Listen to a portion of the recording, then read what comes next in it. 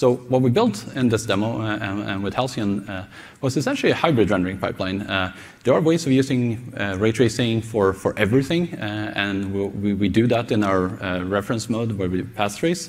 and there are benefits of using ray tracing for everything except when it comes to performance. so what we built actually was a fairly pragmatic hybrid rendering pipeline and something we want to explore. What, what, how do different techniques fit in into an overall pipeline that can deliver these type of visuals that we're after?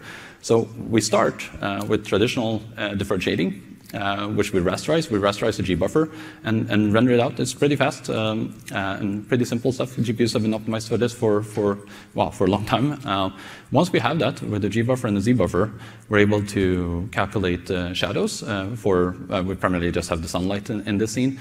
And that we can either do through a classical rasterization technique like cascaded shadow maps, or we can ray trace them. And in this demo, we, we ray trace our shadows. So, so we don't, we pretty much have perfect shadows everywhere in the scene, which is really attractive and requires less tweaking by programmers and, and, um, uh, and or, or artists in that sense, and, and just works. And, and um, we also compute uh, lighting for, for the sun and potentially other light sources. Uh, that's pretty simple. Uh, we do it through just oh, any type of compute path, so uh, you can do it through tile-based or clustered, uh, clustered techniques, but it's a deferred method that we use here.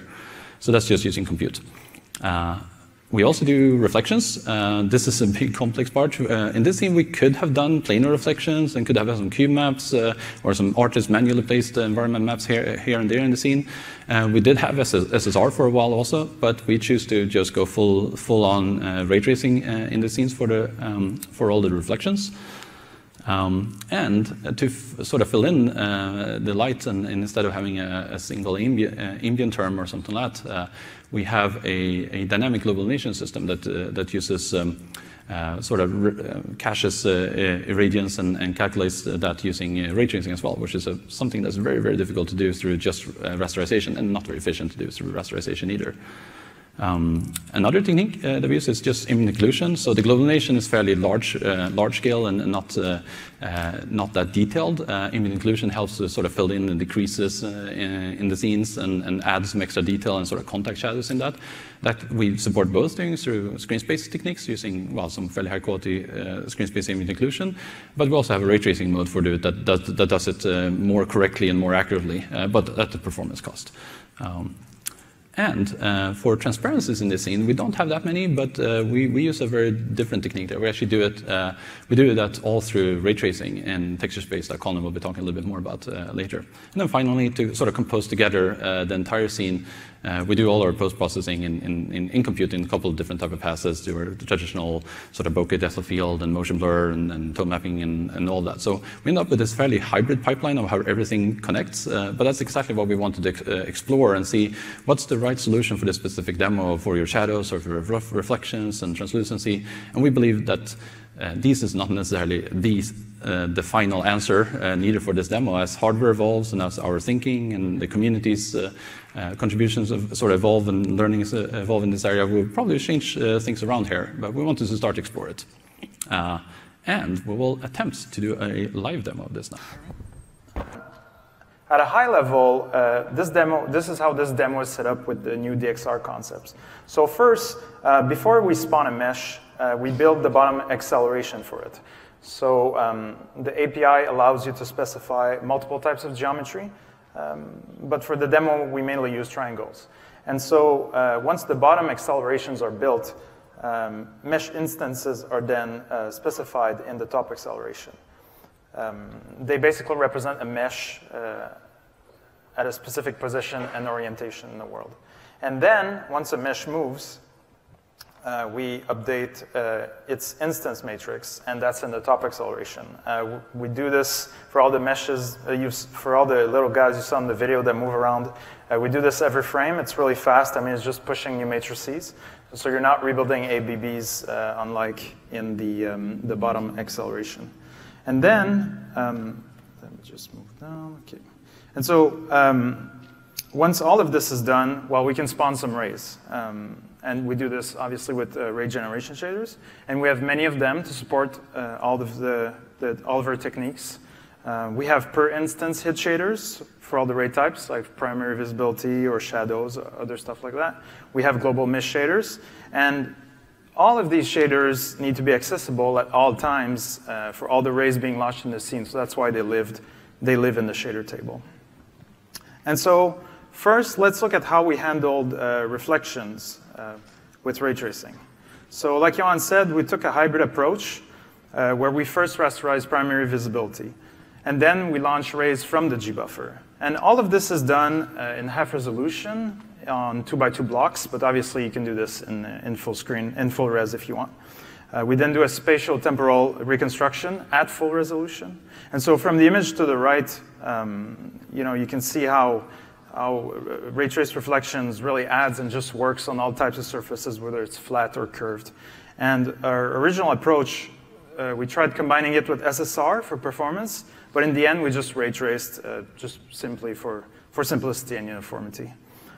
And so uh, here's a breakdown of how we launch reflection rays with some HLSL pseudocode uh, to the right. So don't copy paste this, it doesn't compile. Uh, but I just wanted to mark this down in a simple way so you guys get it after if you want to check the slides. And so first we select one of the two by two uh, pixels to trace. We reconstruct the position and vectors from the gbuffer, uh, like the direction, the normals, all that stuff. We initialize our low discrepancy Monte Carlo um, Halton sequence and a random sequence, a render number sequence that we're going to use to rotate the Halton sequence. We initialize a brand new payload. We prepare a new ray.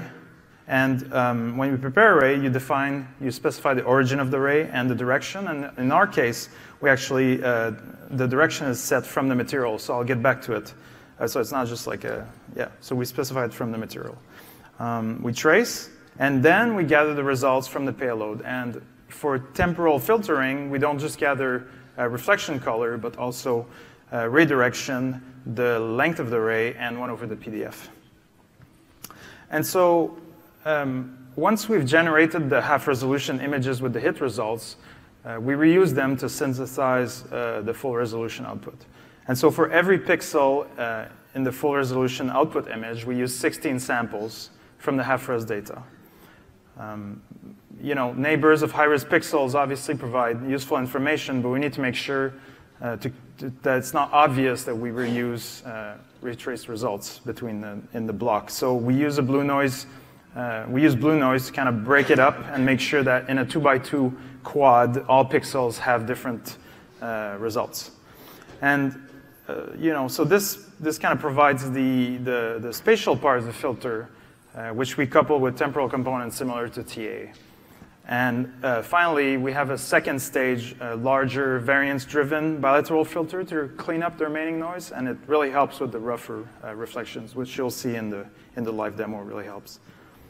And so this is what the world would look like uh, if it was fully reflective, uh, so basically the worst case scenario. Uh, and so with ray tracing, you know, when you handle roughness properly, uh, reflections become so much more grounded, and you know, with the occlusion, it looks so much better and looks really nice. And if we zoom on some details and compare, so to the left, you have some really basic SSR. I think Tom put this together in like overnight or something.